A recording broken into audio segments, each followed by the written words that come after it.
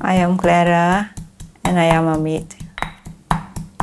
I'm not educated, so very difficult for me to find a job in Philippines.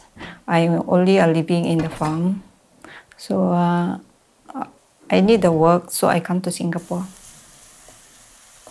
I left Philippines when my daughters at the age of 12 and 8. My daughters, I only want for them to advise is they just study well. For their future is not for me. For me, never mind. For them, for the future.